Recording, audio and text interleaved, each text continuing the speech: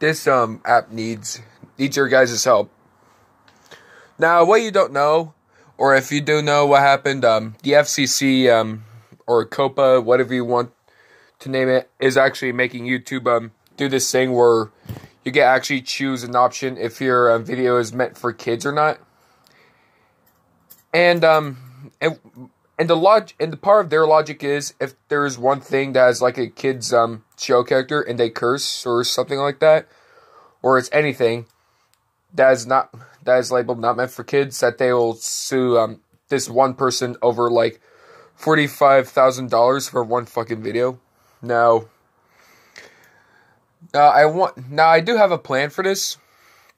Not sure if it's gonna work, but that's it's gotta work if um we could see if we could bug the hell out of Mr. Beast to um solve this problem. Because there's this um campaign that um Charmx did on his, on his video that he talked about it. It's uh, called um we need to um set a campaign for this or something. And he sent a link for the FCC to take a vote whether they should um do it or not. Now there is a link that Charmx has in his video and um man this is a, this is a really hard one. I mean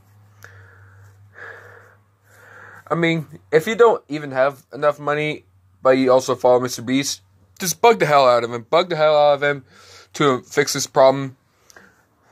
Just to like, just to have him um, take a break on the trees and focus on on fucking YouTube right now.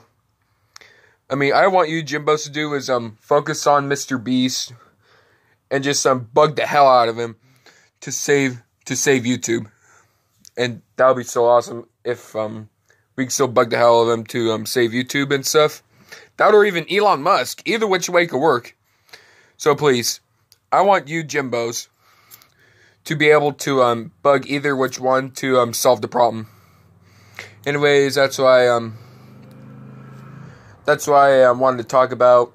Just want to get out of my mind, and um, that's it. See ya.